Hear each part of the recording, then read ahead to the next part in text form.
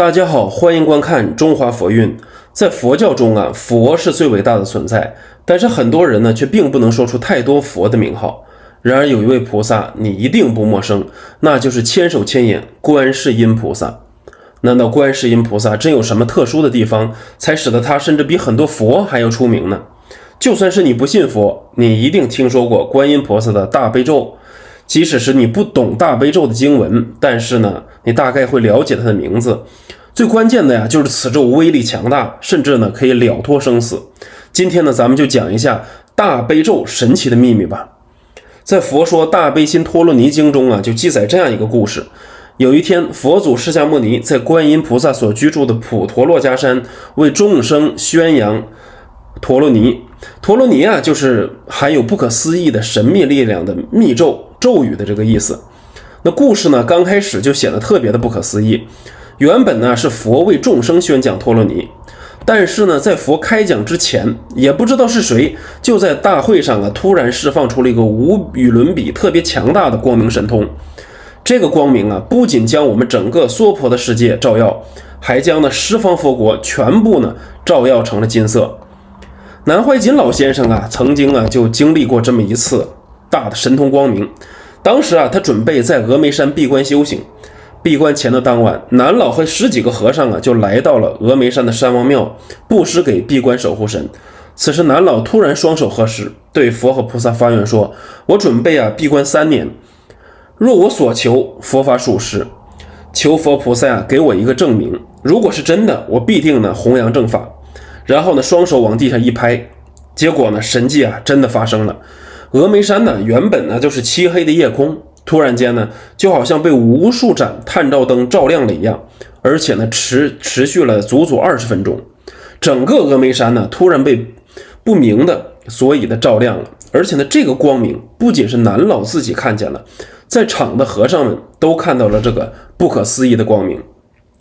和尚们看到这种情况，接着呢就跪下来说：“菩萨，大慈大悲的菩萨显灵了。”这个神迹啊，其实就已经够玄幻的了。但这次的光明啊，和咱们刚才开始讲的呢，佛经上记载的那次无与伦比的大光明比起来，简直呢就是海中的一粒沙。佛经上记载呀，这个大光明瞬间呢就照亮了十方的佛国，一佛国呀，或者是一佛土，也就是十亿个呢小世界，十佛国呢更是无边无量。这个光明啊，瞬间就能照亮十方佛国，这是多么强大的力量！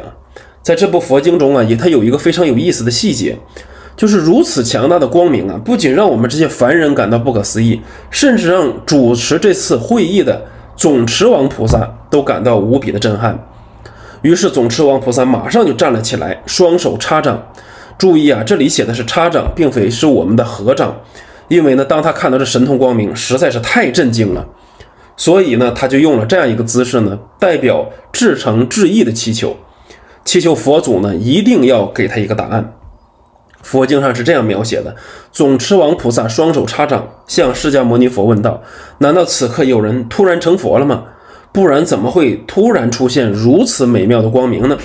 恳求佛祖啊，一定要发大慈悲，告诉我们，究竟是谁释放出了如此不可思议的光明呢？”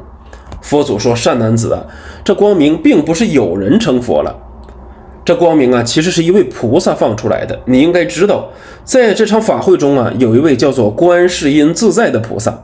佛祖呢，随后又说道：早在无量劫以前呢，大慈大悲的观世音菩萨就已经修持了无量的陀罗尼法门。那么这里的无量劫呀，它也是一个时间的概念。佛家讲呢，一劫为一世。”然后呢，就是一个大千世界从形成、持续，然后毁灭，最后呢又变成了虚空的这样的一个时间。虚无之后呢，并非什么都没有，它会呢从无到有，重新开启呢一个新的轮回。观世音菩萨正是在这无数个轮回之前呢，就已经修持了无数的陀罗尼法门。这也就是说，我们之前所说的咒语。直到这次法会中，观世音菩萨为了安乐世间一切有情众生，便以这样无与伦比的神通，将这个神咒的力量释放出来，就是希望啊，所有的生灵都去知道这个咒语，去诵持这个咒语。当佛的话刚说完，观音菩萨就从座位上站了起来，向佛合掌说道：“世尊，我今天呢就要把这个咒语分享给法会的所有人。这个咒语啊，就是大悲心陀罗尼，这便是我们现在所说的大悲咒。随后呢，观世音菩萨又补充说了下，因为这个咒语实在太强大了，它都有些什么功能呢？它能使这世界上一切的众生得到真正的安乐。哎，我们要注意了，这个并非是我们凡人所以为的普通的这个安详快乐，它能够去除一切的痛苦烦恼，甚至呢增长寿命，甚至可以灭除一切的恶业。哪怕你罪孽深重，十恶不赦，也能呢消除你的恶业。按照佛家轮回的说法呀，当恶业消尽，多半呢也可以升为天人了。这就是大悲咒的作用。所以呢，菩观音菩萨对佛祖说：“您发大慈悲，让我把大悲心陀罗尼宣讲给世人，让他们都能知道这玄妙的咒语啊。”佛祖就说：“善男子啊，你真的是大慈悲。”你要为众生宣说如此之大悲神咒，现在正是时候，你马上开始宣讲吧。我们呢，现在还回到经书上的内容啊。观世音菩萨呢，还讲述了一个关于呢他自己的故事。观世音菩萨呢，就对佛祖说道：“世尊，记得呀，在无量劫以前，有一位佛现出现于世间，这位佛的名字呢，叫做千光王净住如来。这位佛很怜悯我。”同时，也为一切众生，就交给了我大悲心陀罗尼神咒，并以佛手抚摸我的顶，说道：“善男子，你为了未来五浊恶世中的一切众生，应当受此神咒，使他们呢都能够得到真正的安乐。”随后，神奇的事情呢，它就发生了。在千光王静住如来教观世音菩萨大悲咒之前呢，观世音菩萨呢也刚刚就是转凡入圣，也就是说，刚刚呢获得了初地菩萨的果位。但是呢，当观世音菩萨受持了大悲咒以后呢，被佛摸顶的那一瞬间呢，顿时呢就超越了八地菩萨，从初地菩萨变成了八地菩萨。我们要知道，菩萨呢其实分为两种，一个是呢圣菩萨和凡菩萨。凡菩萨呀，就是听过学过很多佛法，也愿意去帮助其他人得到无上智慧，但依然呢是肉体凡胎。那么圣菩萨就不一样了，不但是懂佛法、有修为，还有呢玄妙的神通。那么圣菩萨呢也是有等级的，从初地到十地，一共十个等级。你可别小看了这个初地的菩萨呀，虽然说他刚刚呢转凡入圣，还是这个肉身菩萨，没有呢脱离六道。即便是这样，当他入定的那一刹那，就会产生一百个化身，去往一百个佛国，就可以呢跟一百个佛学习佛法。而且呢，初地菩萨的功德呀，使得他们呢永远不会堕入三恶道。虽然呢，初地菩萨已经很厉害了，但是也有很多呀不圆满的地方。观世音菩萨在受持千光王静住如来大悲咒的那一瞬间呢，便立刻呢从一位初地菩萨呢晋级到了八地菩萨。那么八地菩萨就不一样了，八地菩萨属于法身菩萨，他已经清净圆满了，永不轮回，就等着慢慢成佛就可以了。观世音菩萨手持大悲咒的那一刹那呢，立刻呢从初地菩萨晋级了他八八地菩萨，就可见呢这个大悲咒究竟是有多么神奇的力量了。受持了大悲咒的观音菩萨呢，当时也是满心的欢喜啊，于是呢立刻发下大愿：如果呢我未来能够利益安乐一切众生，就让我身上立刻生出千手千眼吧。随后呢，观世音菩萨马上呢就长出了一千只手，一千只眼。那么。菩萨这个千手千眼就代表什么呢？其实千呢，它并不是一个实数，指的是一千，它不是，而是代表呢无穷无尽的意思。无穷无尽之手的观音菩萨呢，才能够同时去帮助无穷无尽恳求他帮助的人。千眼呢，就是说观世音菩萨呢，能同时接受到无穷尽的人呢向他发出的恳求，而千手千眼帮助无数生灵的菩萨呢，那么就是大慈大悲呀。大悲咒的秘密啊，其实就在于这个咒语的名字，不仅要慈悲，而且呢要大慈悲。这也就是这个咒语啊灵与不灵的秘密所在。佛经里面啊，观世音菩萨就是这样说的：如果要诵持大悲咒，一定要对一切众生啊发起大悲心。那观世音菩萨呢，专门为诵大悲咒的人呢，还发了这四个大愿。第一个愿呢，就是若诸人天诵持大悲神咒堕三恶道者，我誓不成正觉。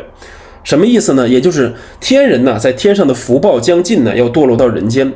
天人很聪明啊，一想三不十二不精，还有呢，一部法叫做《大悲心陀罗尼经》，我赶快念大悲神咒，就不会堕落，马上呢从天界呢到观世音菩萨的刹土中去。若诸天人，包括了我们的这个地球人，诵持大悲神咒不堕三恶道，地狱畜生恶鬼；三恶道不堕呢，就会到天人阿修罗三善道去。那观世音菩萨的第二个誓愿呢，指的就是若有众生诵持呢大悲神咒者，若不生诸佛国，我誓不成正觉。观世音菩萨呀，是真语者、如语者、不诳语者、不异语者。世间呢，凡夫经常呢打妄语骗菩萨，但是呢，菩萨呢是绝对不会骗我们的。你念大悲咒啊，你要去弥勒菩萨的净土啊，观世音菩萨就满足你的愿。你诵大悲咒要去东方琉璃世界，哎，观世音菩萨呢也圆你的愿。你要去呢西方极乐世界呢，观世音菩萨更加的百分之百保证了。所以说，你看呢，由你去挑去哪一个国土，只要你诵持呢大悲神咒，观世音菩萨都满你的心愿，可以呢送到那个国土中去。观世音菩萨说呀，诵持大悲神咒者，若不生诸佛国呢，我誓不成正觉。观世音菩萨发过誓愿，决定呢不会骗我们的。第三个大愿呢，就是若有众生持诵大悲神咒者呢，若不得无量三昧辩才者，我誓不成正觉。就是说，只要你们诵持大悲咒啊，你们念佛得念佛三昧，你们念金刚经得金刚三昧，念法华经得法华三昧，参禅得禅定三昧。如果呢想要当法师讲法，就可以得获得呢语言辩才三昧。